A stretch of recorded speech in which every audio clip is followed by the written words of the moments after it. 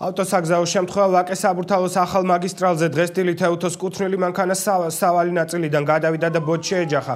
მანქანაში მხოლოდ მძღოლი იმყოფებოდა, რომელსაც დაზიანებები არ მიუღია შემთხვევის ადგილას საგანგებო სიტუაციების სამსახური და პოლიციის წარმომადგენლები იმყოფებოდნენ. წინასწარი ინფორმაციით ავარიის მიზეზი გადაჭარბებული სიჩქარე გახდა.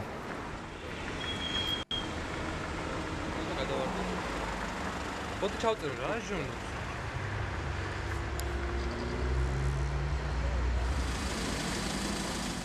მოძრაობდი ვაკეს საბურთალოს ახალ გზაზე და გავხდი თვითმხილველი იმისა, რომ მანქანა იყო მოცურებული და იყო სავალი გზიდან გადავარდნილი, იყო საშიშროება იმისი, რომ გადავარდნილიყო ხევში დაახლოებით 5-6 მეტრიანი სიღრმის ხევი არის აქ და გამოიძახე ჩვენი სამსახური.